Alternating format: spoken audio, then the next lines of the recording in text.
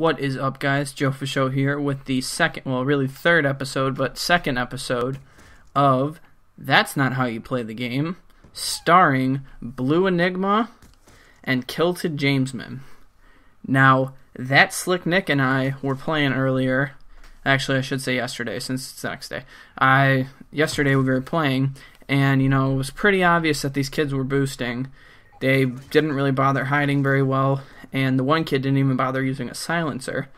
So we ended up catching them, and as you can see, it didn't go all that great for them. Uh, they did get one kill streak out of it, but you know that's not the end of the world. It was just a care package.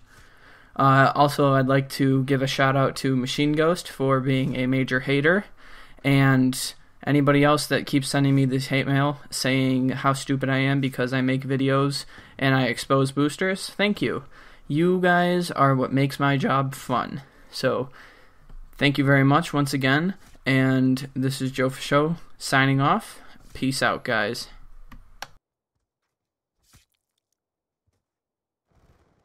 Securing Charlie.